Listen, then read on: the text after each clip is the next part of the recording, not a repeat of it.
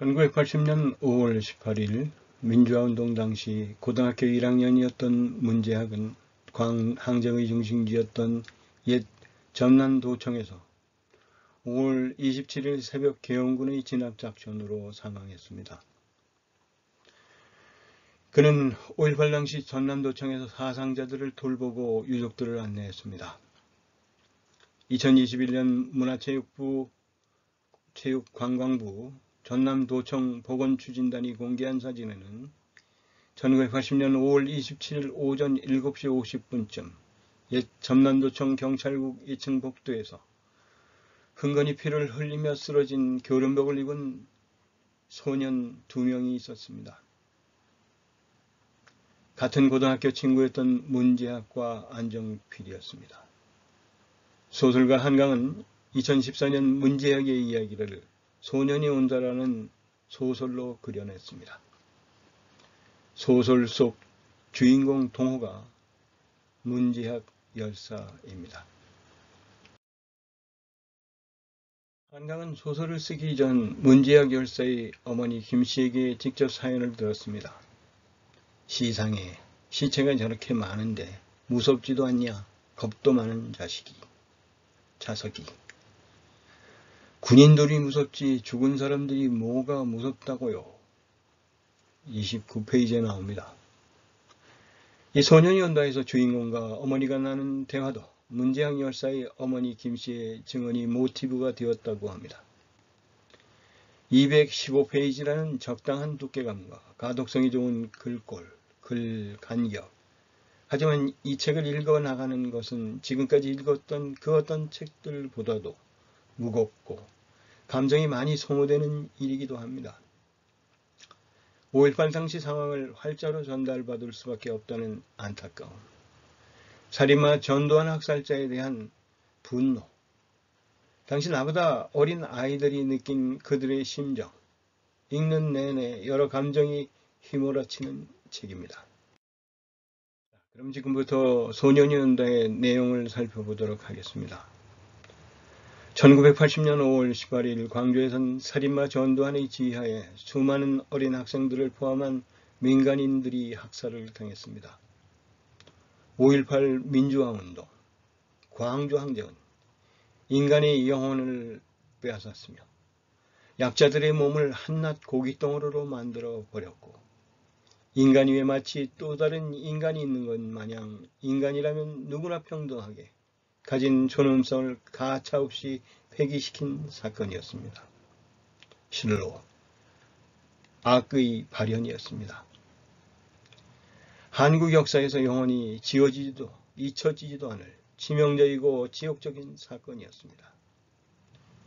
소년이 온다의 이야기는 광주에서 일어난 일들을 줄기로 벌어집니다. 군인의 총탄에 목숨을 잃은 이들의 가족을 찾아주는 이를 돕는 동호부터 함께 일하는 선주, 은수, 진수, 난리통에 사라진 동호의 친구 정대, 동호 가족의 입을 빌어서 1980년대 전후를 재구성합니다.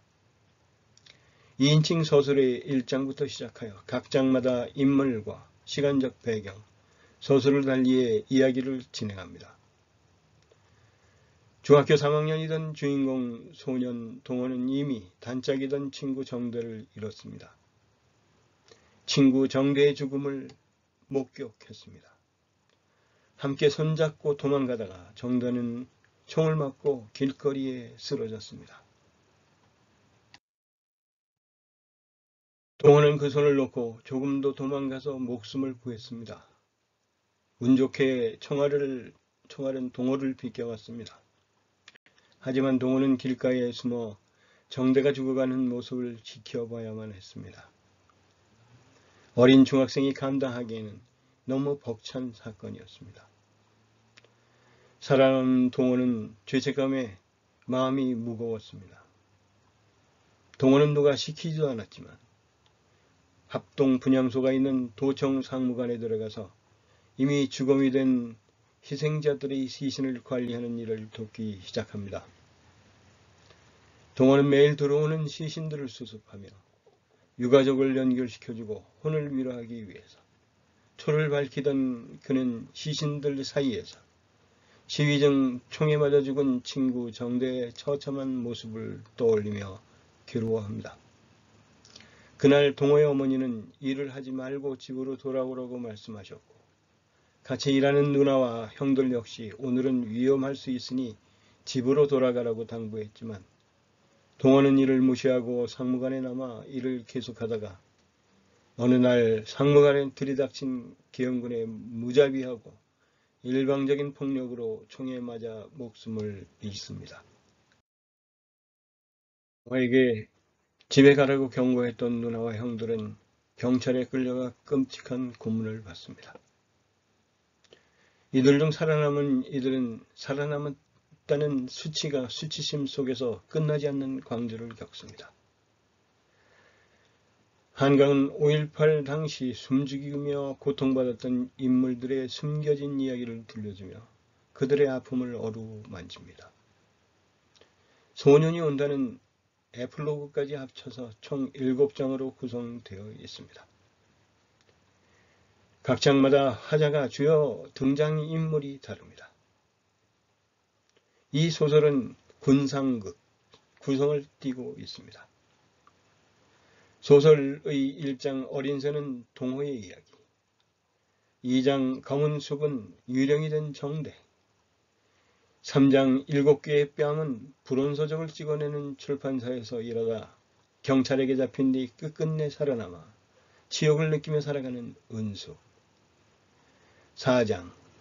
쇠화피는 시민군 김진수의 죽음에 대한 증언을 해줄 것을 부탁받은 1990년의 나. 5장. 밤의 눈동자는 광주에서의 증언을 요청받은 2000년대의 선주 6장. 꽃핀 쪽으로는 아들을 잃은 동해 어머니의 시점에서 이야기가 전개됩니다.